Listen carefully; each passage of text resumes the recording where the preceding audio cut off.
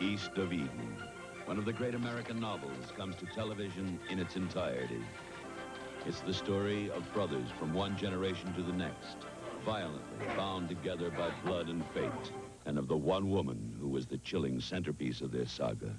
She grew into a temptress no man could resist. The first major television event of 1981, Steinbeck's East of Eden, comes to CTV in an all-new eight-hour motion picture starting Sunday, February 8th.